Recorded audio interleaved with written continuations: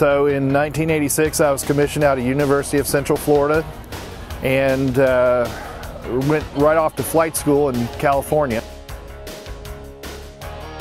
Seven-year career uh, towards the end of it, uh, late one night in the corner of Michigan flying B-52s. The plane is so large that if there is a heavy crosswind, you have the ability to turn the landing gear so that you can land while looking out your side window. And about three in the morning one night, another, uh, you know, crew that I was with on the plane uh, had accidentally, uh, towards the end of about a 14-hour flight, made the wrong directional correction to the gear. And so as we landed, the landing gear were turned the actually the wrong way. And that snap rolled the airplane and in an oxygen mask, helmet, ejection seat, parachute environment where you're strapped in, it snapped our necks to the right and was quite an axial compression.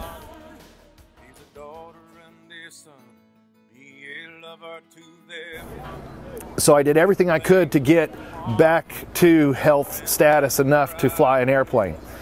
And uh, it just was not happening. About a month or so of different colored pills, some of them small, some of them large, some of them causing me to feel unusual sensations or forget things or you know at sometimes it, i didn't even feel human. And so i asked the flight surgeon at the base about chiropractic care. And he said if this desk represents the education of a medical doctor this is the education of a chiropractor. And he drew out the size of a postage stamp. About two more weeks of taking all these different colored pills I decided to seek out a chiropractor in this town in the corner of Michigan. He happened to be a graduate of Palmer College of Chiropractic. And he put me back together in about two and a half weeks. I'll never forget Dr. Schiffs. And I remember going back in on the flight status roll, and they were sort of shocked. And really, all I let them know is the pills worked because I did not want to lose my career about another six to seven months of flying in 1992. In the next few days, I received the phone call from the wing commander letting me know, quite impersonal, that I had 120 days to figure out a new career. Thanks for your almost seven years, including air combat time. Goodbye. And so it was quite a shock. And so I shifted gears, and five minutes later, I was in touch with Palmer College of Chiropractic in Davenport, and life's been great ever since.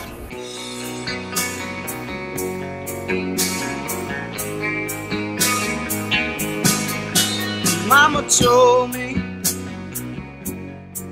when I was young, who sat beside me, my only son. This is where I live here. Is this your house or home? We have 1,200 homeless veterans in Brevard County, estimated 4,200 in Central Florida and 17,000 in the state of Florida.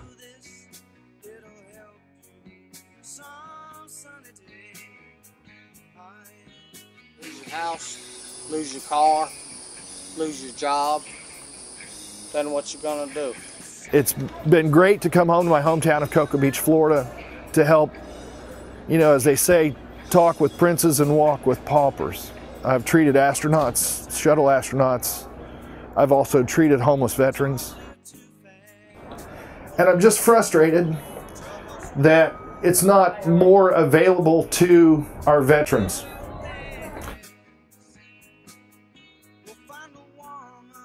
I'm proud to say that I feel like I had a small part in assisting the ACA in bringing now to date 50 military bases in the United States with chiropractic physicians on them. And I do understand at those bases they are receiving the highest awards they can receive for patient care.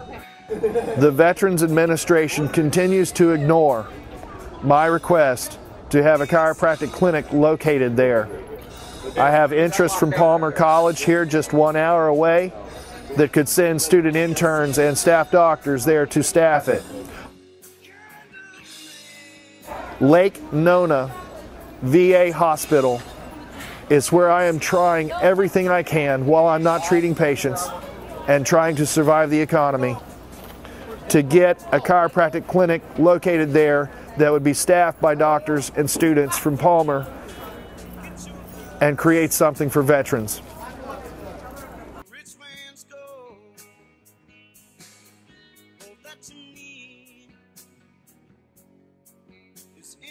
Soul. You can do this if you try.